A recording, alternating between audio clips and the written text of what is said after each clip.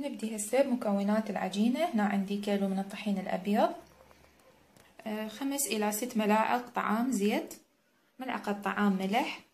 ملعقة طعام كبيرة من اللبن الزبادي وطبعا إضافة اللبن أفضل من إضافة الحليب. جربوا وادعوا لي. هنا عندنا كيس خمرة وطبعا الخمرة هذه أذوبها بقلاص مي وشوية أرش عليها شكر. على مود يساعدها إنه تذوب بسرعة ويعني تشغل عملية التخمير أسرع.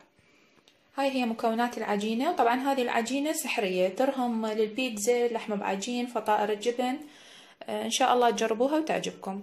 هسه راح نبدي بالعجن. أول شي نضيف الملح.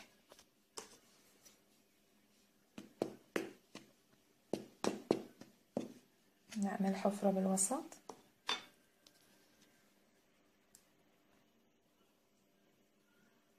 نضيف الزيت.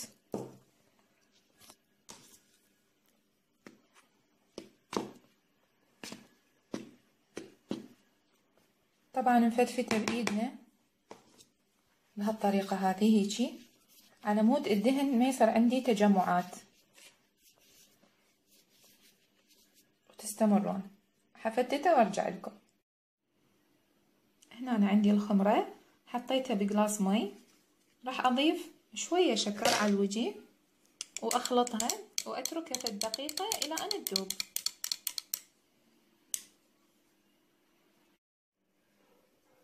بعد أن ذابت الخمرة راح أضيفها هسه وأضيف اللبن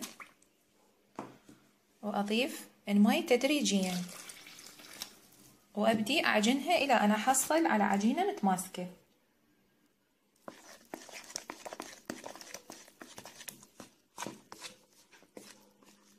هسه نبدي نعجن بالإيد ومثل ما قلت لكم نضيف المي تدريجيا.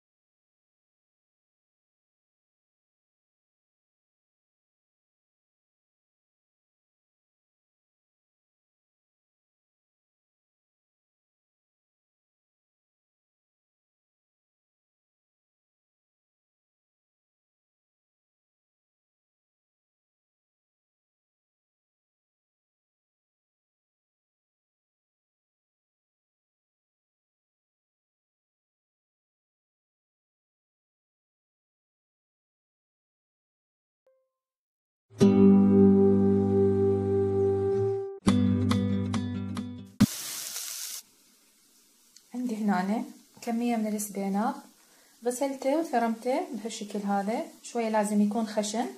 راح أضيفه فوق البصل وأخليها شوية تحمس وياه.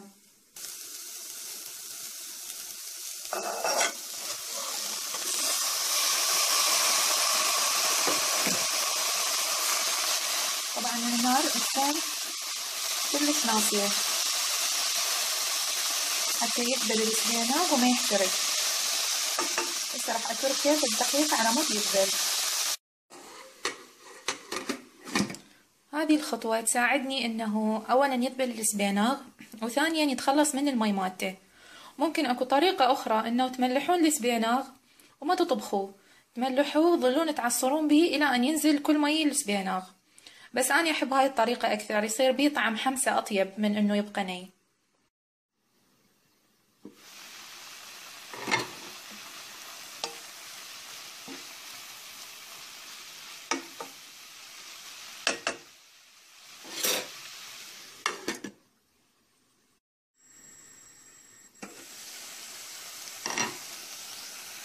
كل شوية أراقبه. لاحظوا هسه شلون دبل؟ بدا لونه يتغير. هسه راح أضيف ملح وشوية من الليمون دوزي أكو يحطون ليمون بس أني ما أريد أحط ليمون. لاحظوا كمية الليمون دوزي شقد كلش قليلة. أكو يخلون ليمون بس أني ما أريد يصير بيها مي. أني دا انشف المي ما أريد أحط له عصير ليمون. وراح أحط له ملح.